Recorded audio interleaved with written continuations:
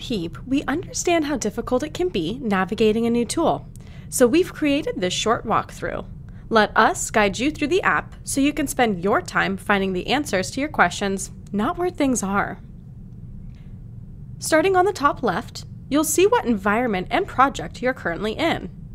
If you need to switch either, simply click and select from here. Moving down this left-hand menu, you will see Dashboard. Dashboards will be where you default upon logging into Heap and are an accumulation of different reports that have been saved in the account. If you have different dashboards saved, you can switch between them by clicking and selecting here.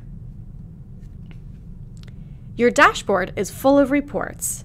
Reports allow you to see and filter through all of the shared reports in the account. Additionally, there will be an option called Personal that contains all of the private reports that were saved to your own personal space.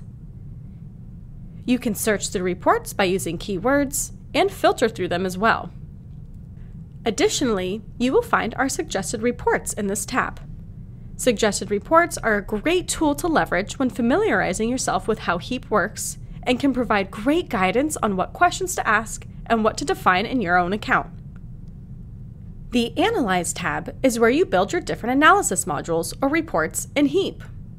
Using one of these six analysis modules, this is where you can find the answers to your questions in the application. Each report allows you to discover something different about your users. For guidance on how to use each of these analysis modules, check out our HEAP documentation, which can be found in the description of this lesson.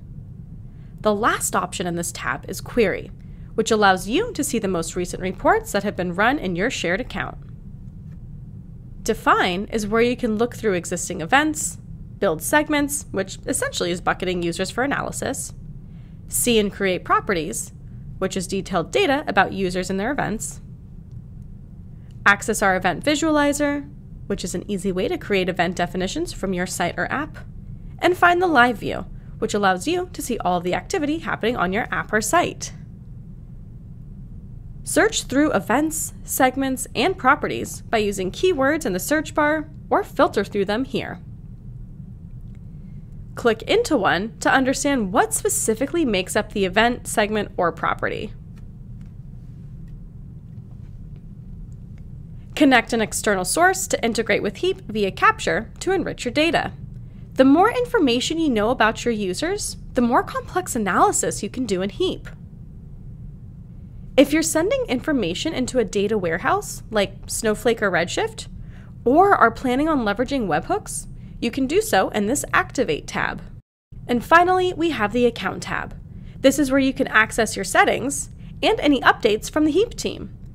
In Settings, you can invite teammates, create projects, exclude IPs, update your own account info, and more.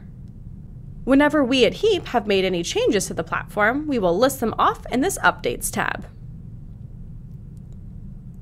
For more information on how to leverage any of the tools and features in this walkthrough, check out our Heap documentation or reach out to us at training at heap.io.